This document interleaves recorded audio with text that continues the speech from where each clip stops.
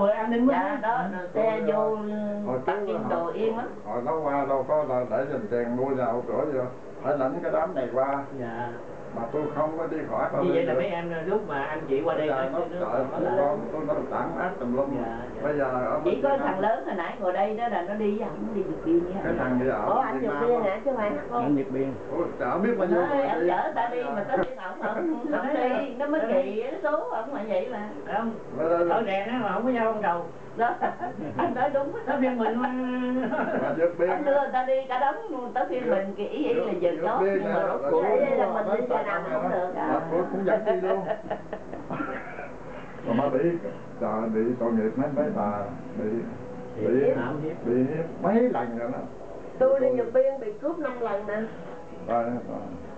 Thành ra mà mình thấy cái khổ năm mình thấy người ta khổ mình mình còn khổ rồi. rồi qua bên đó qua bên đó gặp thằng bạn cũng thằng bác sĩ bạn tôi nó cũng vừa biên qua rồi nó nó nói ủa tôi có tôi đang là mà, mà bờ biển nó ngủ bị nóng á. Dạ. bờ biển mà ngoài trước cái chỗ bệnh xá đó Dạ. cái chỗ đó tôi thấy ngủ xong này này bác sĩ bao đâu đó